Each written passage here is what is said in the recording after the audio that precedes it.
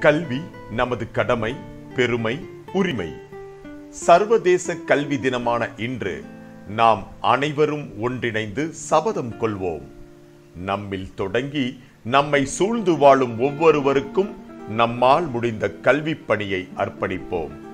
கற்போம் கற்பிப்போம். வளமான வருங்காலம் நம் வசமாக்கிடுவோம்.